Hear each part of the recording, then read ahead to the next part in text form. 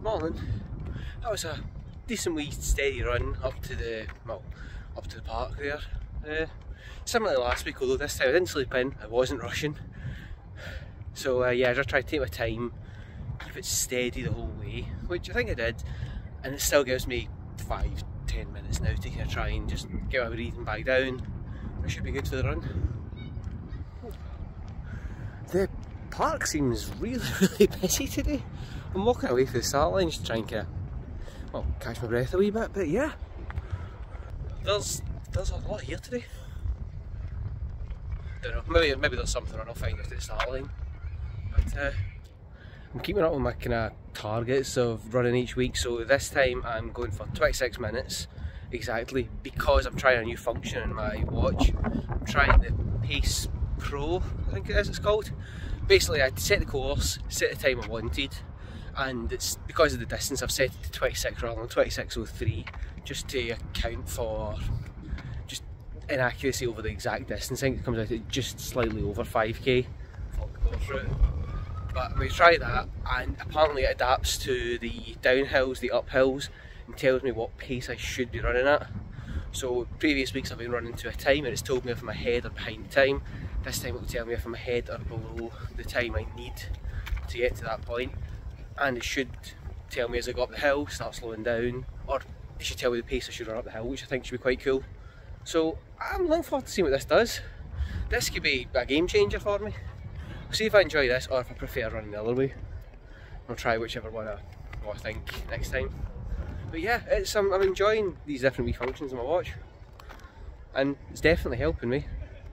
So we'll see. So today aim 26 minutes, if I can get under that even better, but 26 minutes would be fantastic, a bit of improvement again. Ah, it's always nice when there's lots here, so uh, I'll find out at the start what's actually going on. But it's quite a dull grey day, I don't know if you can see that quite behind. Yeah, it's not the nicest, and it's pretty cold. not two layers cold, but chilly. Should be good though. Watch is all set up, see how this goes.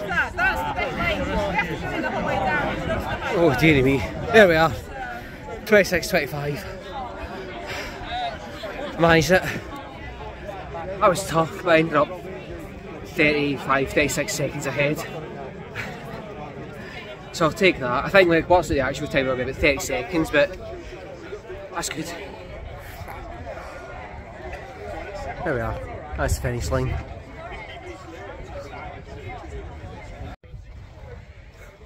Right, I'm done, scanned in. I'm really, really pleased with that. Actually, have I saved it? Sudden thought there that I hadn't saved it in my watch, and turns out I hadn't. It's okay, it's done now. Yeah, I'm really, really pleased at that time. I, I thought it was going to be touch and go. At the fourth kilometre, I was kind of, no, tell like, just as I got over the three and a half point, I was only about five, six seconds ahead. It was the second downhill that I suddenly started making all the time back and as much as I lost a little going back up the hill for the second time, I managed to remain comfortably ahead in the end. I was about 30 seconds at one point, then it drifted a wee bit and it came back just on the sprint to the line. But uh, yeah, really, really pleased with the time. Really, really pleased with that. It was good. And yeah, it was busy because Mold were here. So that's why there's loads. So as much as it was a good time, still 69th, just showing how many there actually are.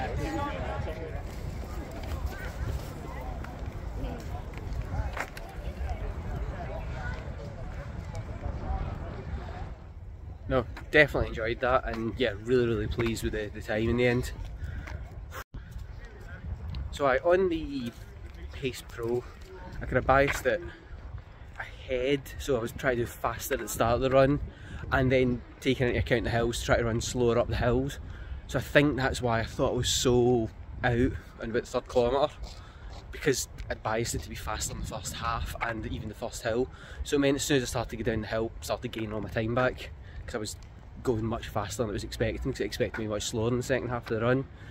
So that helped. So maybe need to watch that next time, just maybe tweak a couple of seconds. But yeah, I'll see what the time is. But I think that's definitely going to be put in as the goal time next week or next one. I don't know if I'm able to make it here next week, but definitely next Cross Flatts I'll put in today's time as the goal time.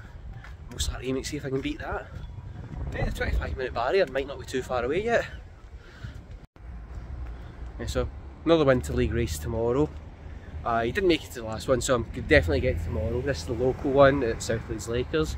So it's going to be two laps round Middleton Woods at the start of a storm. We're avoiding the worst of it. We're going to avoid the heavy rain, well, heavy winds, but I think we're going to get the heavy rain tomorrow morning. So uh, yeah, proper winter trail running weather. At least we've avoided any snow or anything like that. But uh, yeah, that's going to be tough and muddy tomorrow. But should be quite good fun. I'll see how I got on at it. But yeah, oh, that was good. Enjoyed that today. We'll see what we can do next time.